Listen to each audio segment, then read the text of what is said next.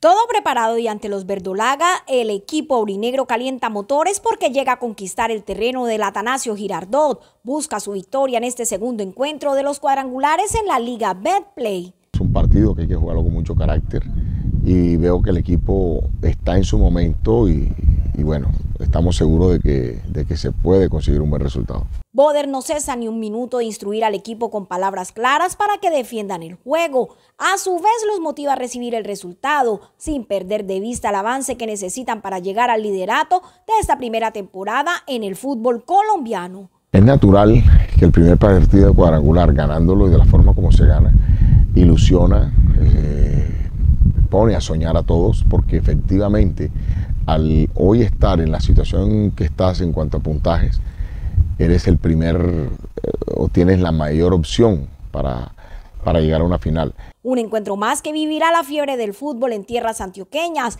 Alianza Petrolera busca los tres puntos y afianzarse entre los mejores del país. Vamos ahora a un partido donde me gusta porque es de los partidos donde te mides, donde te sigues midiendo, perdón, eh, para llegar a, conseguir o llegar a una final. Una segunda fecha que se definirá hacia las 6 de la tarde, Alianza Petrolera contra Atlético Nacional.